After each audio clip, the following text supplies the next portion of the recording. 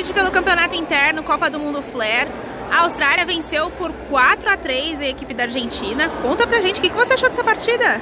Muito boa e eu quero decidir a vitória pra minha mãe, meu irmão e meu pai. E você foi autor de três dos quatro gols da partida, né? Vai dedicar pra quem? Ah, pro meu pai, Qual o nome dele? Cícero. Será que ele tá feliz com a vitória de hoje? Espero. e qual a expectativa agora para a próxima fase da competição? Hã? Qual a expectativa agora para a próxima fase?